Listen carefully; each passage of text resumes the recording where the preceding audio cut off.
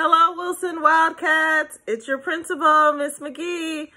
First off, I would like to say I hope everyone is doing well and is staying healthy and safe by practicing social distancing and staying at home. Each week during the school closure, a Wilson staff member will come to you with a read aloud. I'm going to kick things off today by reading the story called Harvesting Hope. It's the story of Cesar Chavez, and I'm going to read this today in honor of Cesar Chavez Day. As you can see, I will be reading to you in my pajamas because it's pajama day, so be sure to check out the virtual Spirit Week calendar as well on your teacher's Google Classroom. Harvesting Hope, the story of Cesar Chavez, written by Kathleen Krull and illustrated by Yuyi Morales. Here we go.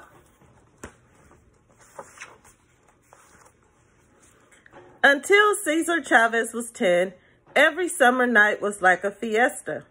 Relatives swarmed onto the ranch for barbecues with watermelon, lemonade, and fresh corn.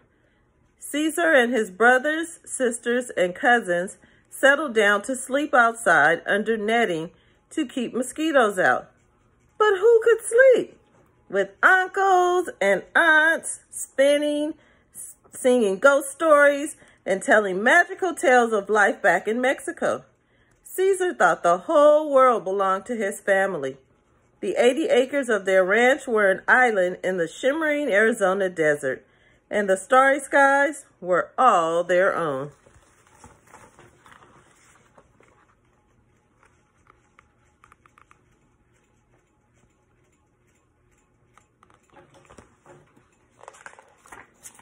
Many years earlier, Cesar's grandfather had built their spacious adobe house to last forever, with walls 18 inches thick. A vegetable garden, cows and chickens supplied all the food they could want. With hundreds of cousins on nearby farms, there was always someone to play with. Cesar's best friend was his brother Richard, and they never spent a day apart.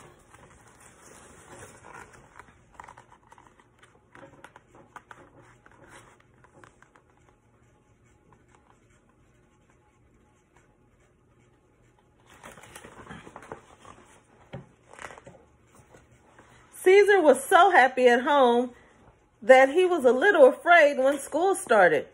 On the first day, he grabbed the seat next to his older sister, Rita. The teacher moved him to another seat, and Cesar flew out the door and ran all the way home. He took three days of coaxing for him to return to school and take his place with the other first graders. Cesar was stubborn, but he was not a fighter. His mother cautioned her children against fighting, urging them to use their minds and their mouths to work out conflicts.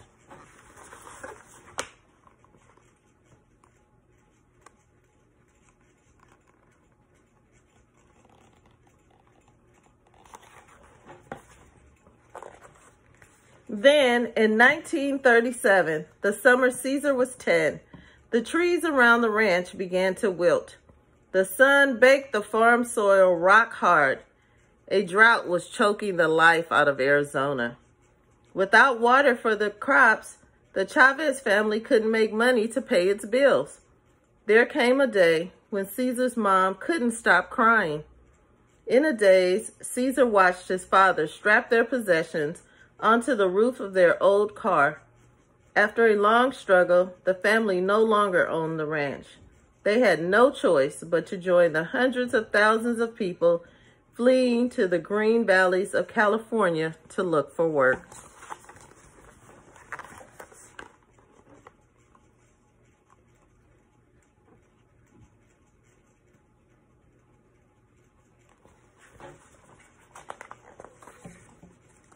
Cesar's old life had vanished. Now he and his family were migrants, working on other people's farms, crisscrossing California, picking whatever fruits and vegetables were in season.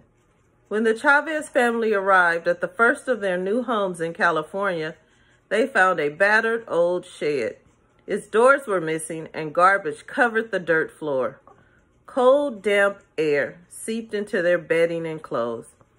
They shared water and outdoor toilets with a dozen other families, and overcrowding made everything filthy.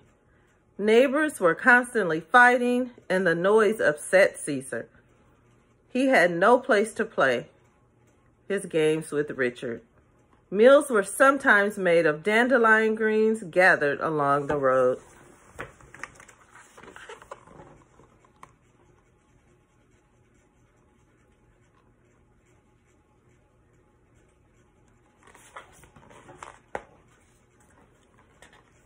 Cesar swallowed his bitter homesickness and worked alongside his family.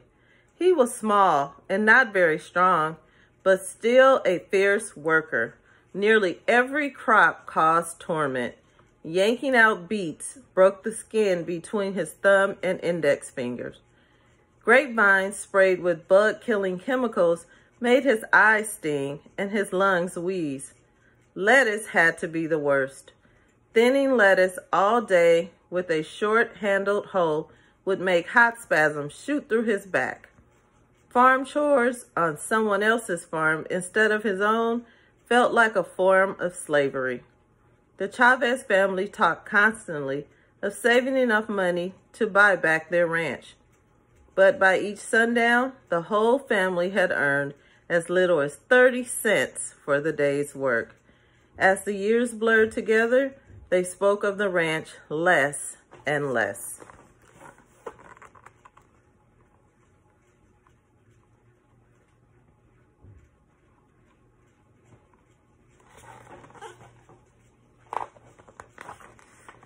The towns weren't much better than the fields. White trade only signs were displayed in many stores and in the restaurants. None of the 35 schools Cesar attended over the years seemed like a safe place either. Once, after Cesar broke the rule about speaking English at all times, a teacher hung a sign on him that read, I am a clown. I speak Spanish. He came to hate school because of the conflicts, though he liked to learn. Even he considered his eighth grade graduation a miracle.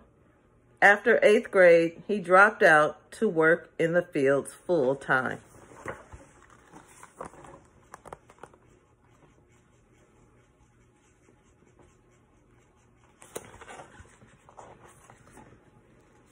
His lack of schooling embarrassed Cesar, for the rest of his life. But as a teenager, he just wanted to put food on his family's table. As he worked, it disturbed him that the landowners treated their workers more like farm tools than human beings. They provided no clean drinking water, rest periods, or access to bathrooms. Anyone who complained was fired, beaten up, or sometimes even murdered. So like other migrant workers, Cesar was afraid and suspicious whenever outsiders showed up to try to help. How could they know about feeling so powerless? Who could battle such odds?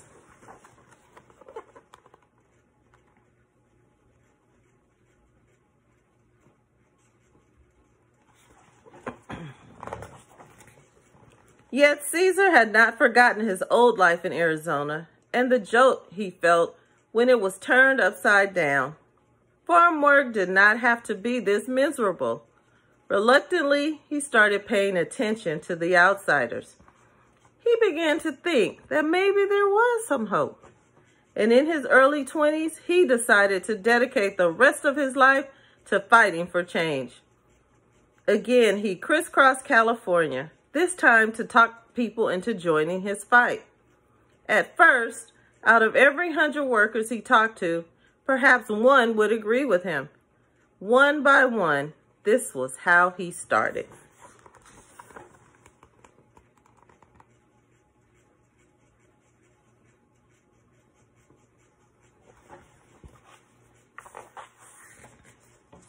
At the first meeting, Cesar organized, a dozen women gathered. He sat quietly in a corner. After 20 minutes, everyone started wondering when the organizer would show up. Cesar thought he might die of embarrassment. Well, I'm the organizer, he said, and forced himself to keep talking, hoping to inspire respect with his new suit and the mustache he was trying to grow. The women listened politely, and he was sure they did so out of pity. But despite his shyness, Cesar showed a knack for solving problems. People trusted him. With workers, he was endlessly patient and compassionate. With landowners, he was stubborn, demanding, and single-minded. Single-minded. He was learning to become a fighter.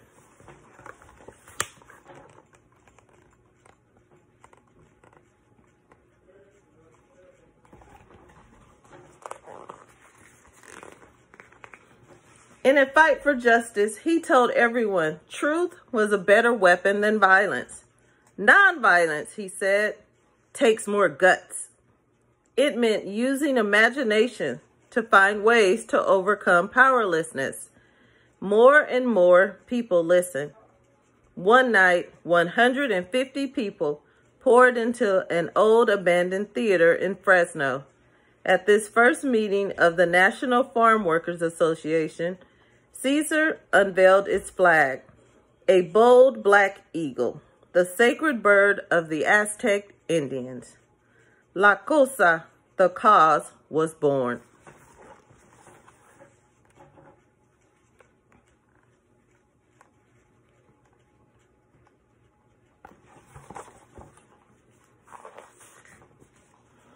It was time to rebel, and the place was Delano, here in the heart of the lush San Joaquin Valley.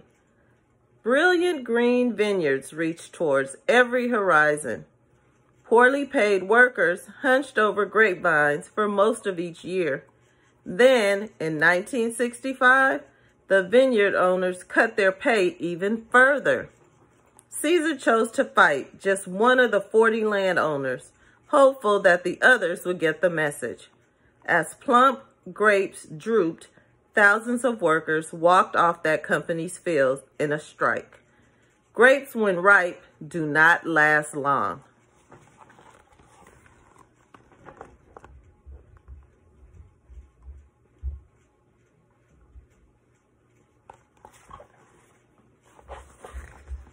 The company fought back with everything from punches to bullets. Cesar refused to respond with violence. Violence would only hurt La Causa. Instead, he organized a march, a march of more than 300 miles. He and his supporters would walk from Delano to the state capitol in Sacramento to ask for the governor's help.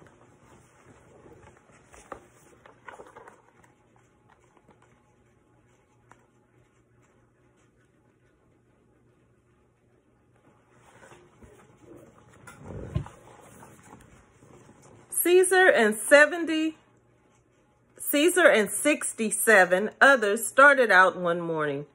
Their first obstacle was the Delano police force, 30 of whose members locked arms to prevent the group from crossing the street. After three hours of arguing in public, the chief of police backed down. Joyous marchers headed north under the sizzling sun. Their, their rallying cry was, Si se puede, or yes, it can be done. The first night they reached Ducor. The marchers slept outside the tiny cabin of the only person who would welcome them.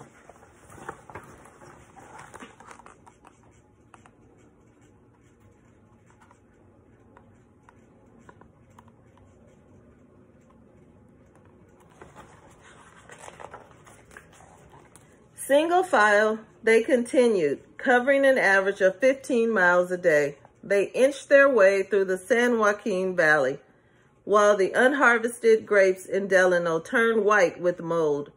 Cesar developed painful blisters right away. He and many others had blood seeping out of their shoes. The word spread. Along the way, farm workers offered food and drink as the marchers passed by. When the sun set, Marchers lit candles and kept going.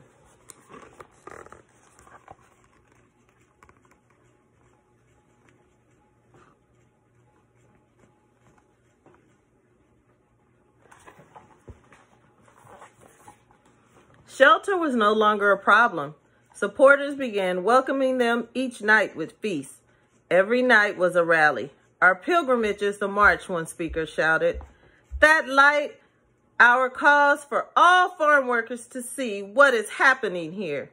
Another cried, we seek our basic God-given rights as human beings. Viva la causa! Eager supporters would keep the marchers up half the night talking about change. Every morning, the line of marchers swelled. Cesar always took the lead.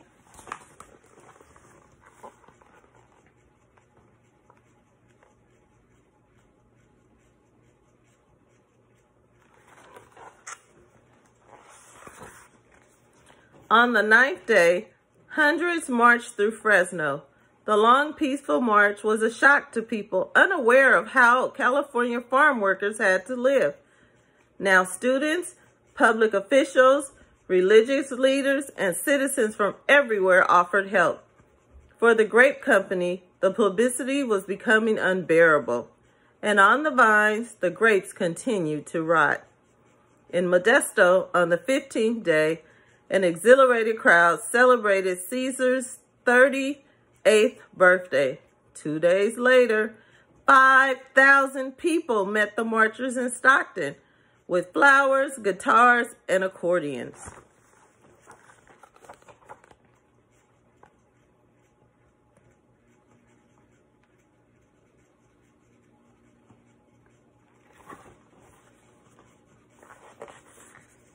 That evening, Cesar received a message that he was sure was a prank. But in case it was true, he left the march and had someone drive him all through the night to a mansion in wealthy Beverly Hills. Officials from the grape company were waiting for him. They were ready to recognize the authority of the National Farm Workers Association, promising a contract with a pay raise and better conditions. Cesar rushed back to join the march.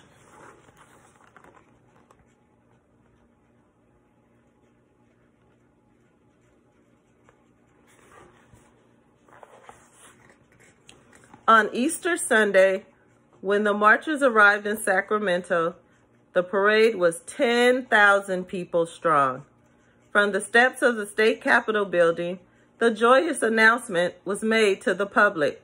Cesar Chavez had just signed the first contract for farm workers in American history.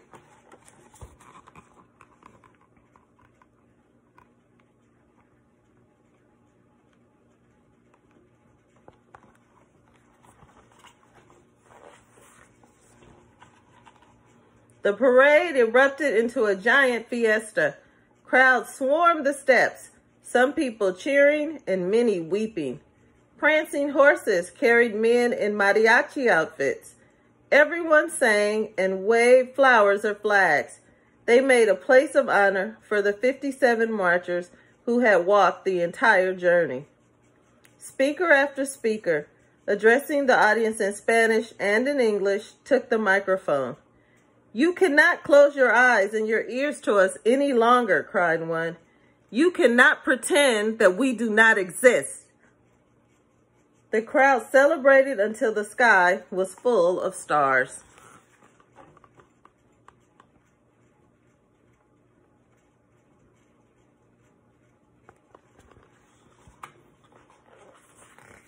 The march had taken its toll on Cesar's legs.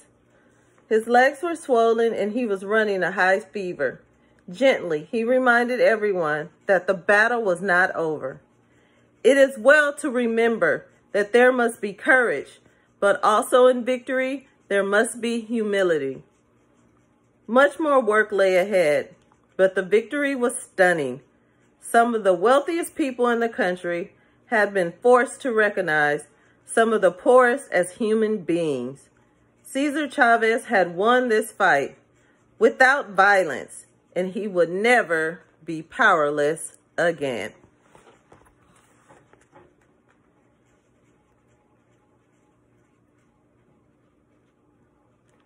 And that is the end of Harvesting Hope. I hope you enjoyed this story and take some time today to think about the sacrifices and the contributions of Cesar Chavez and what he means to America today. Thank you. See you soon, Wildcats. I'm missing you. Be safe and take care. Bye-bye.